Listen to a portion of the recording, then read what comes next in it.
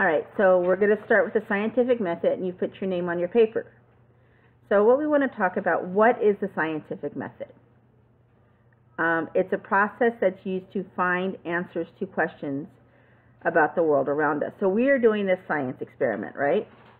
And so we are using the scientific method. And so there's um, kind of, there's more than one scientific method.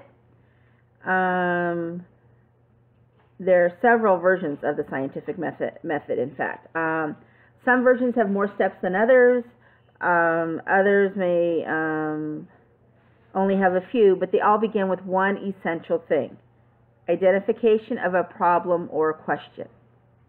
And that's how you base your um, hypothesis, your observations, and provide an organized method for conducting and collecting and analyzing the experiment. Okay, so what is an hypothesis? Because most of you guys should be doing that already, right? That should have been in your packet. So the hypothesis is an educated guess based on observations and your knowledge of the topic. So let's say, for example, I want to do a hypothesis. If I put too many chocolate chips in my chocolate chip cookies, they'll come out flat because there's no dough. So that's my hypothesis. Now, I have to go about proving that. So I would make a control batch of cookies with the regular number of chocolate chips, and then I would make one batch with fewer and one batch with more. And then I could determine what um, I'm doing, what needs to be done. Um, so, and what is data? Do you know what data is? No. Okay, data is the um, information gathered from your experiment. So when I gather data, I gather data on you guys' schoolwork, on things that you guys are doing. For me to do data on my cookie experiment, I would, you know, bake the cookies and then I would measure the cookies, how how high they were, how flat they were, how far they spread out, you know, and that would be my data. And then I could determine what is the best, you know. So my question was sort of, what is the best baked cookie? Um, so the next thing that we're going to do is there's this nice little um, packet, nice little, you see the little um, questions right there? Okay, you need to, we're going to fill those out. But I'm going to, um, so identifying the problem. So that's the first thing we have to do. Hold on a second. So the first thing we have to do is identify the problem. So if I'm not mistaken, that might be what you fill in right there. Identify the problem. So go ahead and write that down in that top box.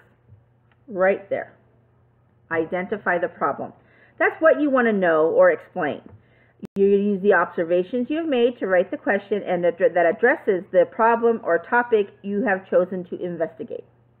So you write down, identify the problem. Just do your best.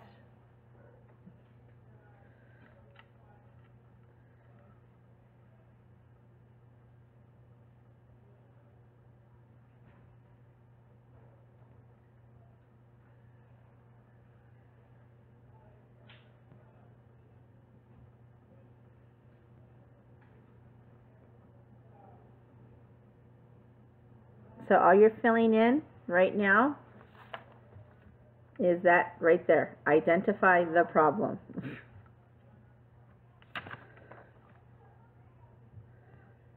so what do you think the next step is going to be in your experiment? After you've identified the problem, what should you do next? I'll give you a hint.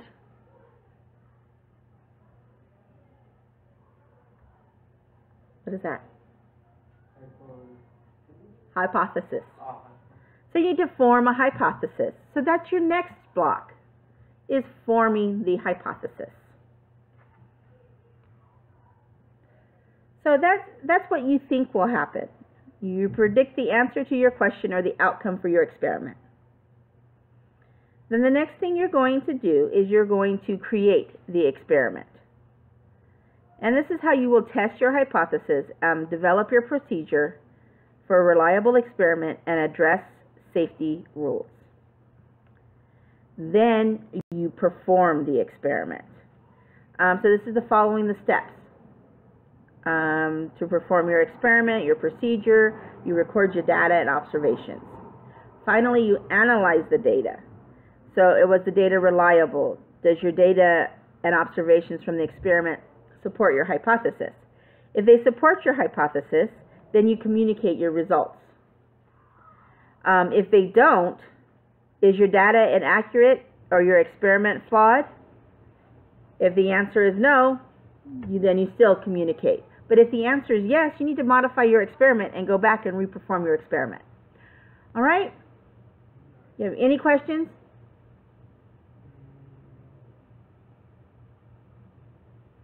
Nope. Okay, good.